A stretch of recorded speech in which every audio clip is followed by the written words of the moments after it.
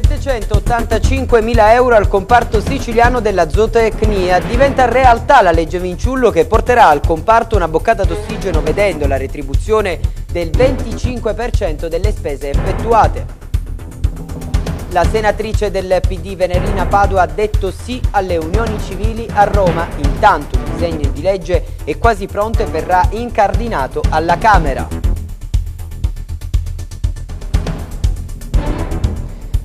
L'aeroporto di Catania è sempre più al centro dell'attenzione delle grandi compagnie aeree che annunciano importanti collegamenti. Oggi intanto presentazione del nuovo logo della SAC.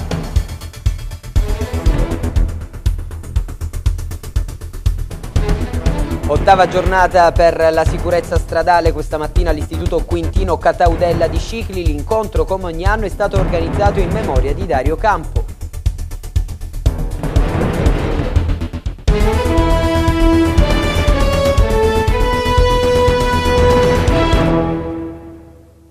14 e 16 minuti siamo tornati in diretta con l'informazione su Video Mediterraneo. Buon pomeriggio a tutti i nostri telespettatori. Dunque, l'avete ascoltato dai titoli in apertura, parliamo di un'importante legge approvata a Palermo che darà sicurezza e una vera e propria boccata d'ossigeno alla zootecnia siciliana. Stiamo parlando della legge Vinciullo che vedrà la retribuzione del 25% delle somme eh, spese dagli allevatori siciliani da parte eh, dell'Unione Europea. Un importante provvedimento di cui abbiamo parlato direttamente con il padre della legge, l'onorevole Vincenzo Vinciullo.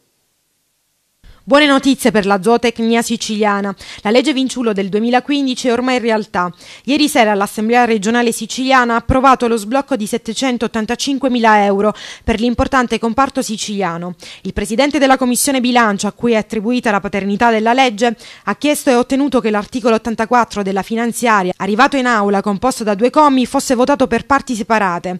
Questa scelta, secondo Vinciullo, si è resa necessaria, in quanto, come lo stesso ha dichiarato, proprio per essere certo certo che questa indispensabile spesa per la zootecnia isolana fosse salvata. Questo atto era già esistente 38 anni fa, ma poi cancellato.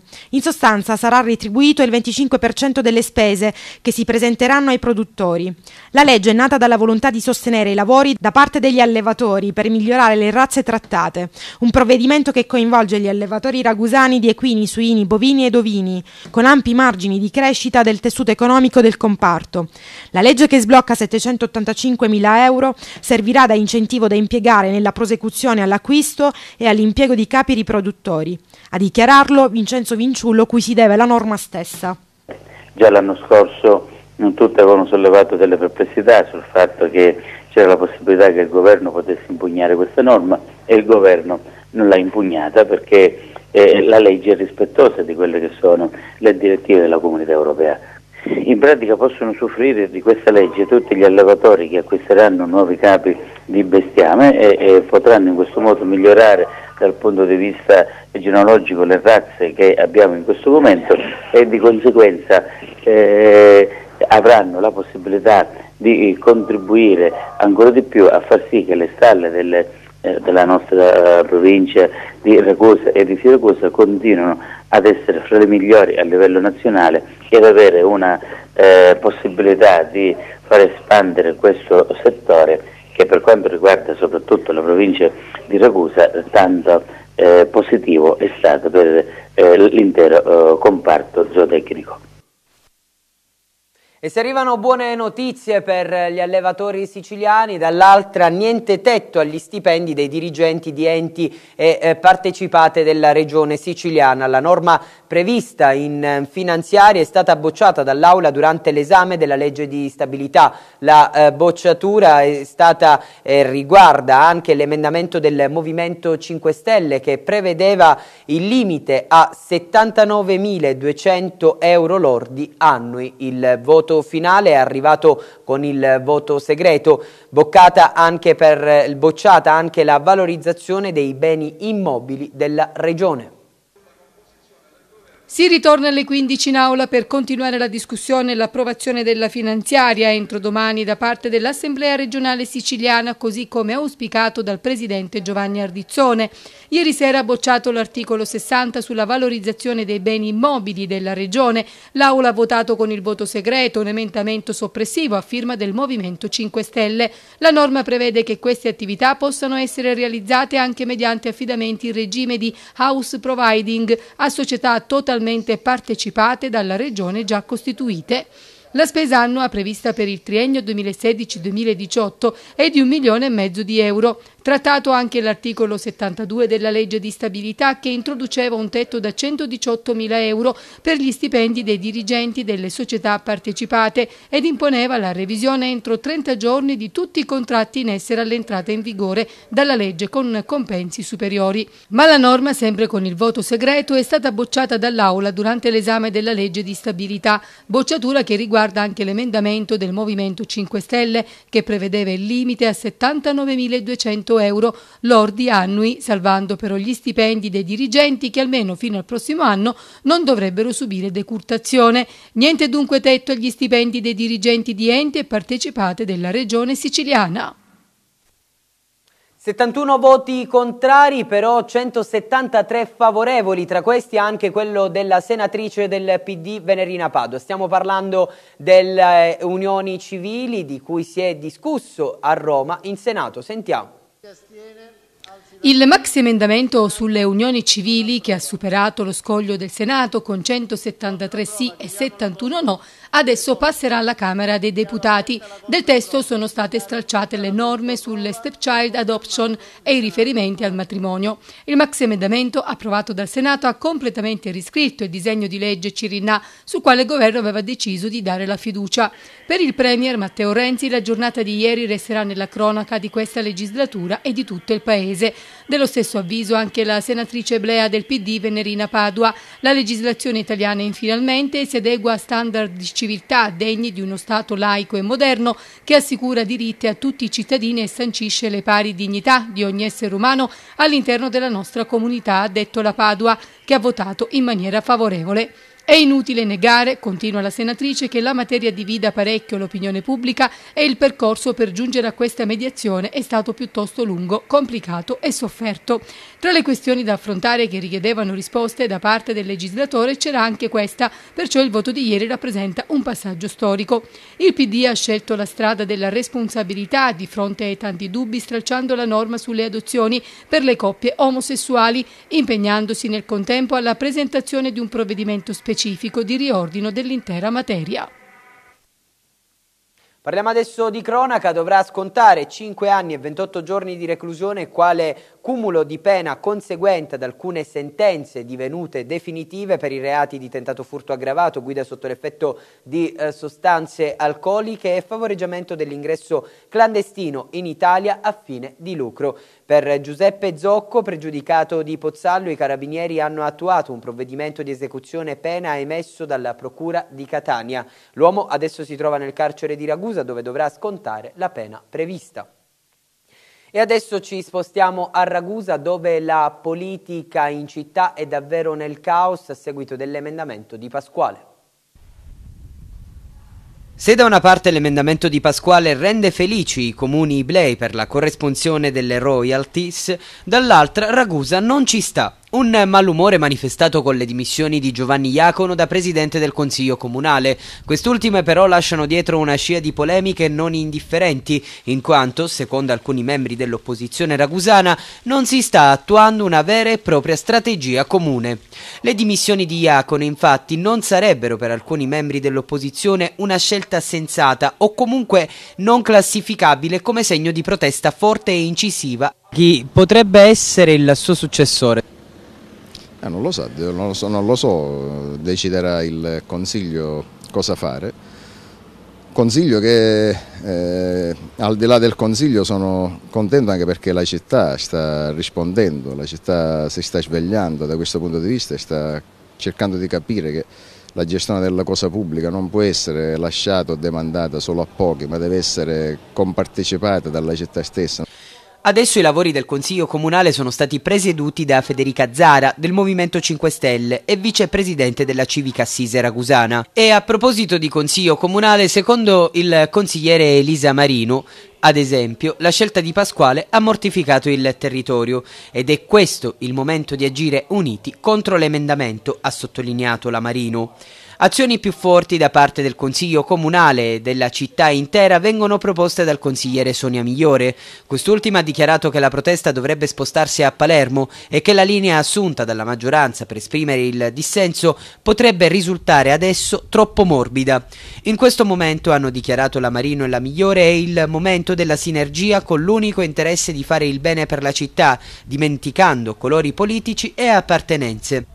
Intanto ieri durante la civica assise, oltre a parlare di futuri lavori nell'ambito della legge su Ibla, con la conseguente scelta su cosa focalizzare l'attenzione e quindi destinare i fondi, è stata bocciata la proposta sulla istituzione della commissione di studio per fare chiarezza sulla destinazione dei soldi spesi provenienti dalle royalties da parte del PD. Lo hanno dichiarato i consiglieri comunali del Partito Democratico Mario D'Asta e Mario Chiavola, che sottolineano come si sia persa una buona occasione per applicare i sani principi di legittimità, di trasparenza e di legalità e anche per ridurre le tasse. Abbiamo aperto il nostro telegiornale parlando di una buona notizia per la zootecnia siciliana e quindi di buone notizie per tutto il territorio siciliano. E a proposito di eh, buone notizie parliamo dell'aeroporto di Catania che è sempre più interesse da parte di compagnie aeree estere molto eh, forti e oggi è stato presentato eh, nella sede della SAC il nuovo logo della stessa società che gestisce eh, l'aeroscalo siciliano che che diventa sempre più forte, sempre più interessante per tutto il mondo. Bisogna comunicare e per farlo occorre creare un rapporto di fidelizzazione con il fruitore. Da questo presupposto la SAC, società di gestione dell'aeroporto di Catania, ha deciso di avviare un restyling dell'immagine proprio aeroportuale e questo processo si è concluso oggi con la presentazione del nuovo logo della SAC. Più dinamico e avvolgente, il profilo dell'aereo icona che caratterizza da tempo il logo della società di gestione ha perso di esteticità e appare adesso in movimento. Vecchio logo che era bello, storico, ma dava sembrava questo stereo fermo, invece c'è questo stereo in movimento, è il segno di un territorio, più ancora prima della SAC, che vuole muoversi. Questo è un segno molto forte, e poi questo richiamo al blu del mare, all'azzurro del cielo, che credo siano anche due elementi molto caratteristici del nostro territorio. Un'occasione quella di stamattina anche per parlare delle nuove tratte che caratterizzeranno lo scalo e. Come annunciato l'amministratore delegato della SAC, Gaetano Mancini, sono sempre più le compagnie aeree interessate all'aeroporto di Catania ed è per questo che partiranno i voli per Iasi, in Moldavia, per Amsterdam, Lione e Berlino, per Monaco di Baviera, di nuovo per Amsterdam con Welling, per Malta, per Malpensa con un aumento delle rotte giornaliere, ma anche per Pisa ed infine il ritorno da parte dell'Italia per Bologna. È un, eh, eh, uno scalo che eh, incrementa il numero dei passeggeri e incrementa anche il numero oh, dei voli. Eh, e questo come dire, è una delle mission delle società di gestione eh, aeroportuale. Venendo ai dati si è registrato un 9% solo nel periodo legato a Sant'Agata, un 5,33% in più di passeggeri nel mese di gennaio e per quanto riguarda i primi 20 giorni di febbraio si è registrato un 4,40% in più. Gennaio conferma che ormai si è totalmente riassorbito, come avevamo previsto ampiamente, eh, l'effetto della, della, sospensione di attività di Air One e della riduzione meridiana, quindi l'aeroporto di Catania continua a crescere in maniera importante. Controlli a tappeto da parte della Polizia Stradale di Ragusa nei confronti di taxi e noleggio con conducente. A Ragusa in Piazza Zama un taxi aveva la licenza scaduta, pertanto gli agenti di polizia hanno proceduto alla contestazione delle infrazioni previste dal codice della strada che prevedono sanzioni amministrative che vanno da 1.700 a 7.000 euro circa, oltre al sequestro del mezzo per la confisca. Un altro conducente taxi aveva invece la revisione scaduta e dunque è stato eh, anche lui eh, multato ed è stata sospesa la circolazione del mezzo. All'aeroporto di Comiso infine un tassista è stato sanzionato per non aver al seguito eh, la eh, licenza. Sulla Ragusa Catania invece la Polstrada ha sanzionato due conducenti che effettuavano il trasporto di persone per violazione della prescrizione della licenza che prevedono il ritiro della carta di circolazione. I controlli rientrano nell'ambito della campagna europea TISPOL. Cambiamo argomento, ci eh, spostiamo a Scicli dove eh, oggi è stata una nuova giornata, l'ottava per la precisione in merito alla sicurezza stradale, sicurezza stradale che ogni anno viene promossa in ricordo di Dario Campo. Ancora una volta la sicurezza sulle strade è al centro degli incontri organizzati dall'Istituto di Istruzione Superiore Quintino Cataudella di Scicili, insieme alla scuola famiglia Cataudella Onlus. L'argomento di estrema importanza, come ogni anno, viene inserito nell'ambito dell'iniziativa Giovani Vite da Mare, nel ricordo di Dario Campo giunta all'ottava edizione. Un momento toccante ed emozionante in cui si ricorda Dario, morto prematuramente in un incidente a Roma dove studiava. In suo ricordo il padre, Salvatore Campo, ogni anno oltre alla borsa di studio organizzata in sua memoria rivolta a studenti meritevoli che vogliono proseguire gli studi universitari, vuole lanciare un messaggio ben preciso alle nuove generazioni in tema di sicurezza stradale.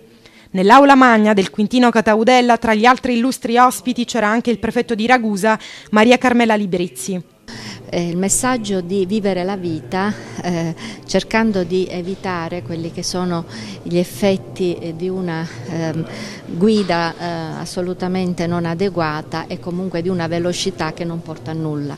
Questo è il primo messaggio. Il secondo è sicuramente quello dell'impegno civile, l'impegno di una scuola, l'impegno di associazioni che operano in questo settore e che quindi hanno eh, veramente come finalità, come obiettivo quello di aiutare i ragazzi.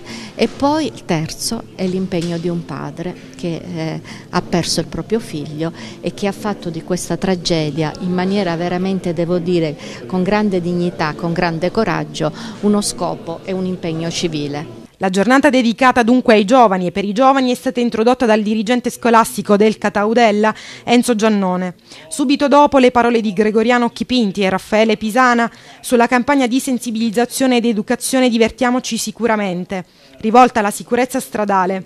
Poi si è parlato di zero vittime sulla strada, si può, con Giovanni Fiorito, professore emerito dell'Università di Catania, ed infine lo scrittore e saggista Domenico Pisana ha relazionato sui giovani del terzo millennio, tra sogni e desideri, naufragi e speranza. Questa è l'ottava giornata dei giovani. Intendiamo con questo richiamare i ragazzi a comportamenti corretti quando si trovano sulla strada e anche le famiglie dei ragazzi perché insomma di queste cose se ne discute e anche le istituzioni, perché anche loro devono fare una parte molto importante, perché i sistemi della sicurezza, da quello che noi abbiamo capito in tutto questo periodo, sono soprattutto tre. I comportamenti di chi guida, la situazione dei mezzi con cui si guida e poi anche le strutture nelle quali noi andiamo a camminare, a passeggiare, andare con la macchina, quindi è importante. E sempre al Quintino Cataudella, poco prima di questa manifestazione, si è, tenuta, si è, tenuto un grande momento di confronto fra etnie, il tutto per la promozione della pace. Sulla strada della riconciliazione tra Israele e Palestina e questo è il tema di un incontro che si è tenuto oggi per la presentazione del progetto Semi di Pace agli studenti dell'Istituto di Istruzione Superiore Quintino Cataudella di Scicili, un progetto che è stato promosso dalla rivista Confronti, sostenuto dall'8 per 1000 della Chiesa Valdese, per dar voce a palestinesi e israeliani impegnati nell'educazione alla pace e al dialogo interreligioso. La conferenza è stato un momento di riflessione e discussione con gli studenti sul conflitto ancora odierno governo tra israeliani e palestinesi e sulla possibilità di riconciliazione al fine di cooperare e convivere insieme per siglare la pace tra i due popoli. Tra gli interventi la testimonianza di una donna palestinese ed una israeliana entrambe parenti delle vittime di guerra e parti attive della fondazione Parents Circle Families Forum. Message as we always confirm Il messaggio che proponiamo è, è, sempre a favore della pace. Quello che noi eh, chiediamo infatti è di non essere oppositivi nei confronti di Israele o nei confronti della Palestina perché questo è qualcosa di, non salutare per eh, entrambi. Per entrambi. Quello che possiamo suggerire è di, eh, di leggere eh, le notizie con altri occhi e di ascoltare quindi tante voci, non solamente quelle che sono a favore di un popolo oppure di un altro. Questo è un messaggio molto importante per tutti quanti, soprattutto per i giovani. So, since we are here in Italy, da quando siamo in Italia, eh, da quando abbiamo potuto fare la conoscenza delle persone che lavorano a confronti, ma anche per Mediterranean Hope e le persone della Federazione delle Chiese Evangeliche in Italia, eh, siamo rimasti impressionati di come eh, le persone credenti possono fare molto per la pace. Purtroppo sia in Israele che in Palestina i fondamentalisti di, di ambo le parti influenzano troppo la nostra, la nostra, vita e influenzano troppo le scelte politiche di, de, dei nostri paesi. E invece appunto si può far molto per andare in una direzione opposta, per, per poter trovare quindi la pace. A dare un forte contributo a questa manifestazione Michele Lipori della rivista Confronti. Siamo qui appunto a Scicli per promuovere la diciottesima edizione del progetto Semi di Pace. È un progetto in cui la rivista crede molto per il dialogo fra israeliani e palestinesi ed è stato possibile eh, continuare a farlo per tutti questi anni al supporto dell'8 per 1000 della Tavola Valdesi, unione delle, delle chiese metodiste e valdesi. Si insedia ufficialmente lunedì il nuovo parroco della chiesa madre di San Pietro a Modica, padre Antonello Abbate. La celebrazione è prevista per le 18.30 con la Santa Messa da parte del vescovo della diocesi di Noto, Monsignor Antonio Stagliano. Padre Antonello subentra a Monsignor Corrado Lorefice, già parroco della chiesa di San Pietro per sette anni e da dicembre arcivescovo di Palermo. 14 e 36 minuti, c'è la pubblicità ma torniamo subito dopo per parlare tra l'altro del cantante Giovanni Caccamo. Lo sport in apertura di seconda parte del nostro telegiornale, allenamenti e ranghi completi. In casa Passa l'Acqua Spedizioni in vista del match di domenica pomeriggio sul parquet di Parma, valido come sesta giornata del girone di ritorno del massimo campionato di basket femminile con le eh, nazionali Nadalin, Gorini, Consolini e Eric che eh, si sono nuovamente aggregate al gruppo, coach Gianni Lambruschi ha avuto nuovamente la possibilità di avere tutte e dieci le giocatrici a propria disposizione già dal pomeriggio di ieri. Adesso la palla a mano è la classica partita da dentro o eh, fuori quella che potrà continuare a dare ancora un senso all'attuale stagione oppure fare completamente perdere di vista l'obiettivo. Domenica infatti torna a giocare tra le mura amiche della pallamano Ragusa che deve ancora recuperare il match che si sarebbe dovuto disputare in trasferta a Messina. Alla palestra Sebastiano Parisi di via Bellarmino arriva l'Handball Palermo che ha tre punti in meno rispetto al 7 ragusano e che quindi coglierà l'occasione per cercare di operare l'aggancio in classifica nel campionato di Serie B. Cambiamo argomento dopo il successo di martedì sera per il concerto di, eh, per il concerto di Giovanni Caccamo al Teatro Tenda di Ragusa. Oggi a MTG parla il presidente della Fondazione San Giovanni Battista, Tonino Solarino, che traccia alcune peculiarità del nuovo CD di Caccamo Non siamo soli. Dal podio di Sanremo 66 edizione, condiviso con l'amica Deborah Iurato per interpretare il brano Via da qui, ha l'abbraccio pieno di affetto che Ragusa ha tributato al suo artista più noto. Il Teatro Tenda di Ragusa ha accolto l'invito di Giovanni Caccamo ad acquistare il suo nuovo CD Non siamo soli e presentarsi in teatro per assistere al concerto. Un incontro musicale intimo con pianoforte e voce ammaliante, fermisto ai momenti di dialogo con gli spettatori, sono diventati parte integrante della serata. Un selfie per ognuno ognuno, autografi, abbracci con i familiari, con i tanti nuovi amici che trovano nella sua musica originalità, emozioni e poesia. L'evento è stato inserito nel calendario del Festival delle Relazioni promosso dalla Fondazione San Giovanni Battista, festival giunto al secondo anno di programmazione di cui Giovanni Caccamo è direttore artistico. Il presidente della Fondazione San Giovanni Battista, Tonino Solarino, ai nostri microfoni ha espresso parole di elogio nei confronti dell'artista modicano. Dici bene, è una bella occasione sia per eh, accogliere Giovanni dopo questo suo straordinario successo, per la nostra provincia sicuramente un pezzo di storia storico, sia per eh, perché ascolteremo il suo secondo album che ho avuto modo di ascoltare e che è molto bello. Noi non siamo soli, eh, il titolo che è stato dato all'album eh, effettivamente anche dal punto di vista etico e religioso è un messaggio assolutamente importante da dare alla collettività. Ma guarda, penso che tutti gli artisti intuiscono, ma non solo gli artisti, ci sono dei... Eh, dei semi che fanno sperare rispetto alla consapevolezza che bisogna lavorare per legami, per relazioni, per appartenenze. Veniamo da un percorso di individualismo esasperato di cui stiamo vedendo alcuni frutti dolorosi e deteriori la grande sfida della relazione è come mettere insieme la bellezza della propria originalità, però una bellezza che non si isola dagli altri, non vede gli altri come nemici, ma che dire, vive con gli altri la bellezza anche di essere insieme. Occorre procedere al più presto alla bonifica del sito e magari sottoporla a sorveglianza per evitare il ripetersi di simili gesti. È quanto dichiara Marcello Medica del Comitato per Modi Cadente in merito al monumento posto sulla collina dell'Itria a ricordo del Giubileo del 2000 che versa in condizioni pietose. Il Comune e la Chiesa sono state avvisate, adesso ognuno faccia la sua parte per restituire alla città il monumento nel suo originario decoro e splendore, ha concluso così Medica. La società Fedeli e Portatori di San Corrado e l'associazione Portatori dei Cili eh, organizzano eh, per domani la eh, raccolta alimentare di eh, San Corrado presso i eh, supermercati di Noto. All'iniziativa partecipano anche l'Istituto Comprensivo Melodia, eh, l'Istituto Comprensivo Maiore e l'Istituto Comprensivo Aurispa. 14 e 44 minuti, non ci sono aggiornamenti da parte delle agenzie, pertanto questa edizione termina qua. Grazie come sempre per averci scelto e buon proseguimento su Video Mediterraneo.